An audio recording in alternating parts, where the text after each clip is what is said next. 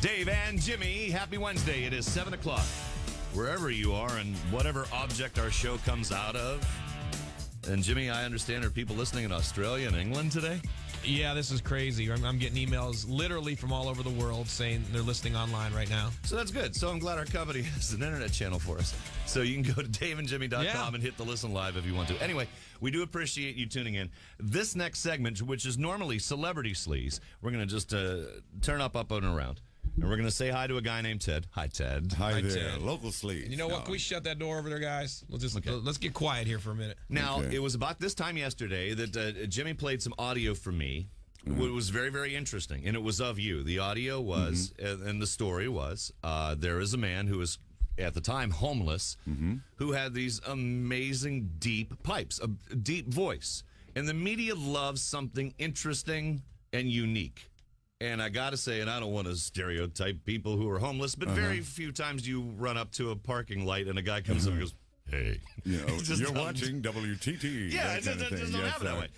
And that was interesting enough. And interesting enough that Jimmy and I, we heard the audio and we said, this guy deserves a little light on him. Yeah, we so we heard your audio Thank yesterday, so much. Chad, and we were like, we need to play this, and we played it over and over and over yesterday. Okay. and uh, we thought, well, you know, we got to we got to get this guy in here. We got to see if we can get him off the street. With that kind of talent, you don't need to be homeless. Is what we thought. Yes, sir. And uh, our listeners heard it. Someone got hold of you. You called us. Long story short, you ended up in the chair here today. And but can we quickly get into your story? How did you end up on the street? How did you end up sleeping under bridges? How did you end up walking up to cars with a piece of cardboard saying you should hear my voice and give me a dollar?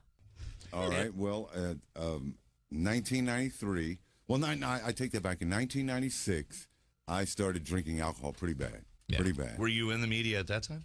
I had just, as a matter of fact, WJZA, which is the It's new. a jazz station. Okay. Yeah. Okay, so you were working a jazz Uh, format. exactly. And uh, the um, alcohol and everything was getting a little bad for me, and I was uh, showing up late and just, you know, uh, just taking my job for granted. Right. And uh, uh, then some other drugs became involved, you know, uh, marijuana, cocaine, and so forth. And so, um, Did one lead to another? And I don't want to interrupt your story. yeah, pretty much, pretty Okay, much. One right. one led to another. I, you know, I, I was an alcoholic prior to uh, any other addictions that I had thereafter, but I was an alcoholic, and so I would have bouts of sobriety here and there. And so um, after that took its place, uh, I just started really feeling in that self pity mode. You know, just going around, you know, and and, and the voice just became uh, no more than just a novelty. You know, I would I would uh, do all kind of voice characterizations and make jokes, commercials you don't hear every day, and then I was taping it. So it ju- there was just no kind of ambition to try to pursue any type of um, radio work or television work, voiceover work, or anything. So um, I, I got acquainted with the twelve step group of uh, AA and NA. I know it's based on attraction rather than promotion, and so um, When did that happen? When did you find yourself walking forward? in ni- in '97. Okay. Well, uh, let's say I had so many relapses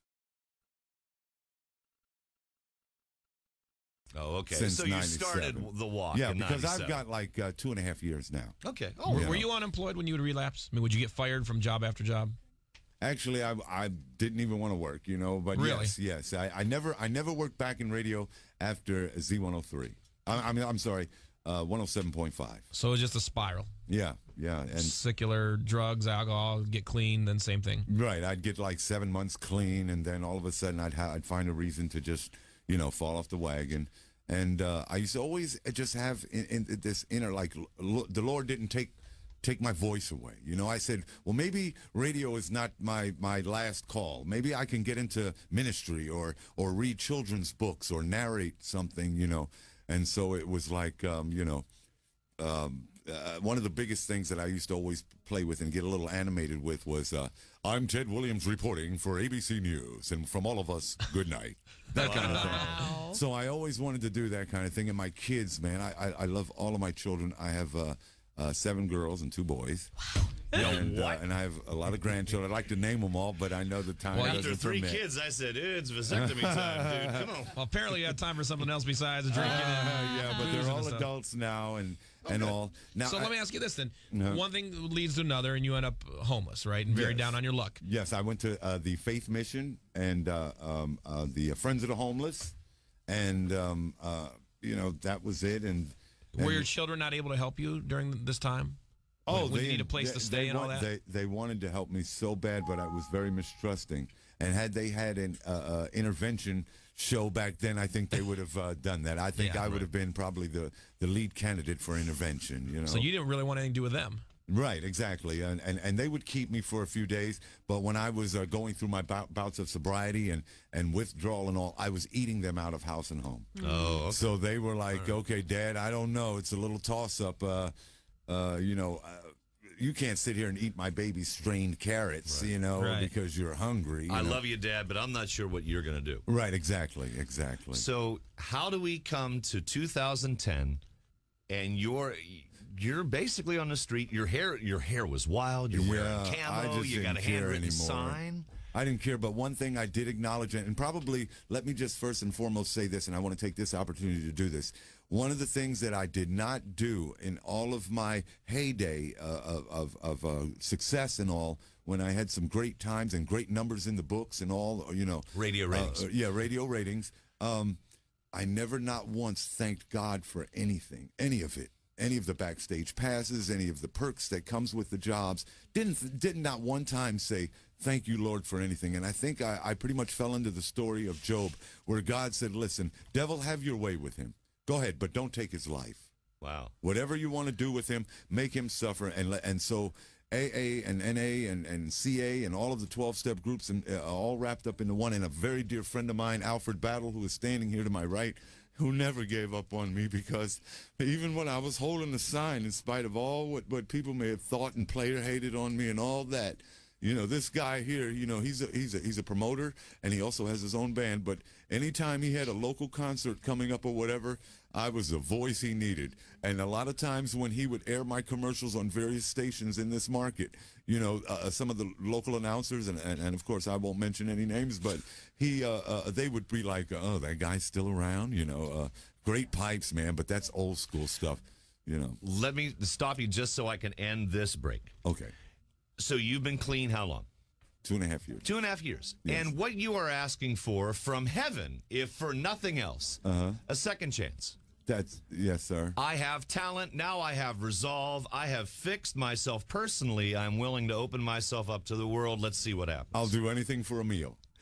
I'll do anything for a meal, and if it happens to be voice work, uh, God bless my soul. And man, this is just uh, outrageous. What's Are you going on loving here. being behind the mic again? Yes. Are you? Good. I can tell. Because we were talking yesterday and we were really kicking this around. We wanted to bring you in. Yes, we sir. wanted to give you a job for at least a day just to say, okay, we're going to pay you the wages you would have earned had you worked for us for a day. Oh, and, And I that love is it. around here and ain't that's much, good. I gotta tell you Well. That's okay. You That's might get a okay. croissant which. but That's okay. I can go for got, it. It got big. Yes, it just my because again the power of media sometimes looking for that unique little moment somewhere that I haven't heard of before, Uh-huh. and that's what's going to happen next.